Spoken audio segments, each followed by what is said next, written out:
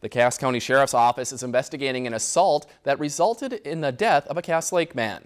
It happened just last Thursday, just before midnight. The Cass County Sheriff's Office received a report of a serious assault victim who was brought to the Cass Lake Indian Services Hospital. The 25-year-old victim was pronounced dead at a short time after the Sheriff's Office and Leech Lake Tribal Police immediately began investigating. Search warrants were executed at two homes in Pike Bay Township in rural Cass Lake.